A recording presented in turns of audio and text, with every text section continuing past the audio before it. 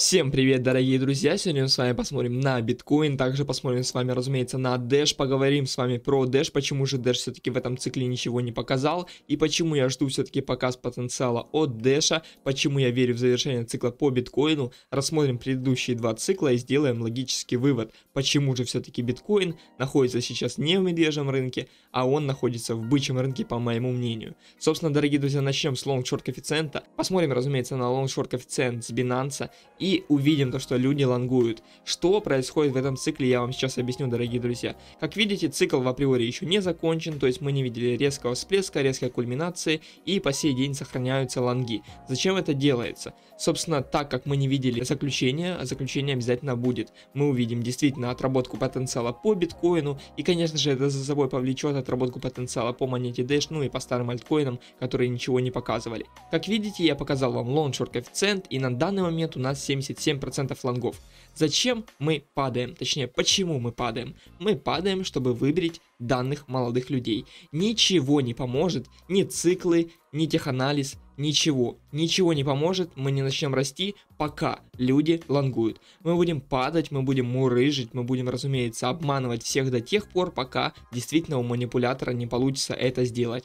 И не важно, насколько цикл затянется, не важно, что будет происходить на рынке, не важно, какая кровь будет течь на рынке, как все будут бояться, не бояться, в общем, ничего не поможет, ничего действительно вас не защитит, ничего. Пока люди лонгуют, ничего не изменится. Пока люди лонгуют, мы будем, скорее всего, валиться, мы будем мурыжить, мы будем ложно расти, ложно падать, в общем, ничего не поменяется. Пока настроение не поменяется, пока действительно люди не переобуются в шартистов, пока действительно у манипулятора не получится это сделать по-нормальному, мы будем валиться, мы будем мурыжиться. Ничего не поменяется. Вообще, если посмотреть на историю, то видно, что биткоин давал возможность заработать просто всегда. Просто всегда покупаете и держите, все, вы зарабатываете. Даже если вы купили на хаях, все равно вы в итоге заработаете. Даже если вы купили на хаях в этом цикле, вы все равно заработали. И я полагаю, что если купить прямо сейчас, то тоже вы в любом случае рано или поздно заработаете. Потому что все равно рано или поздно биткоин отрастет. Потому что структура рынка, она такова. По сути, у биткоина дефляционная структура за счет его ограниченной эмиссии. И в принципе, данная дефляционная структура защитит биткоин от падения в будущем в любом случае, потому что все равно фиатные валюты будут обесцениваться по сравнению с биткоином, потому что биткоин набирает обороты, потому что биткоин уже принимают почти везде, то есть страны уже заинтересованы в криптовалюте, заинтересованы, разумеется, обложить это все налогами. И, дорогие друзья, что хочу вам сказать, пока вот это сохраняется, пока большинство склонны лонговать, мы будем валиться, мы будем падать, мы будем действительно мурыжиться здесь, мы не будем расти, это нужно понять всем. Пока лонгуют, мы ничего не будем делать. Мы будем действительно торчать на месте и ничего делать не будем нормального. То есть хороших движений пока не ждите. Потому что всегда так было и всегда так будет. Когда люди верят в рост, всех обломают. Когда люди действительно не верят в рост, то будет, разумеется, тот самый рост. Потому что такова психология рынка. Чтобы манипулятор заработал как можно больше, как можно большее количество людей должны терять. Так было всегда, так тоже будет всегда. Что хочу сказать по поводу альтсезона. Я же жду я говорил в начале видеоролика, что я жду отработку потенциала по альткоинам. В этом нам поможет индекс альтсезона. Я еще не видел действительно хороших отметок на альтсезоне, я еще не видел, чтобы действительно биткоин сначала впитал капитализацию в себя, то есть показал пик и начал лопаться. И после этого пойдет самый масштабный альтсезон. То есть самые масштабные альтсезоны были тогда, когда биткоин показал пики и начал скатываться. У нас пиков в априори еще не было, у нас была обманочка здесь, обманочка здесь. В итоге это все середина цикла, по моему мнению, как было здесь и здесь. И мы еще не видели нормального потенциала.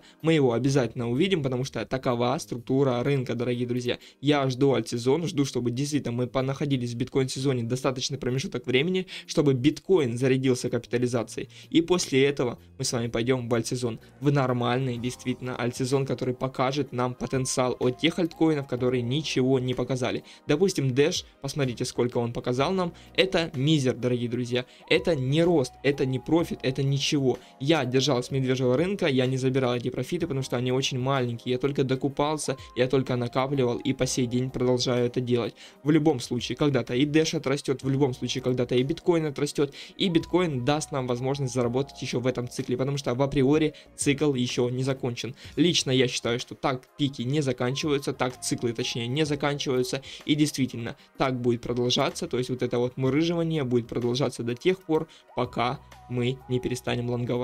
Когда большинство перестанет лонговать, мы, разумеется, начнем расти, потому что большинство уже будет шортить. В общем, цель манипулятора переобуть лонгистов в шортисты и только после этого начать рост, потому что на ракете никто не полетит. Не дадут заработать всем просто так. Здесь придется попотеть, здесь придется постараться, здесь придется проявить терпение и только от терпения, действительно от вашей выдержки вы сможете заработать благодаря вашей выдержке и вашему терпению. Собственно, дорогие друзья, как шли циклы в предыдущие разы? Здесь мы подготавливались, здесь мы шли, разумеется, первый забег, потом мы делали что-то типа консолидации, и после консолидации мы шли в кульминационный импульс. Теперь, что было у нас на данном цикле? Да то же самое, дорогие друзья, что было и в этом цикле. И в этом цикле было то же самое. Здесь мы сделали что-то похожее на этот и этот цикл одновременно. Мы его растянули, и мы, как видим, дорогие друзья, находимся где-то в середине и готовимся, заряжаемся на последующий рост. Готовимся, дорогие друзья,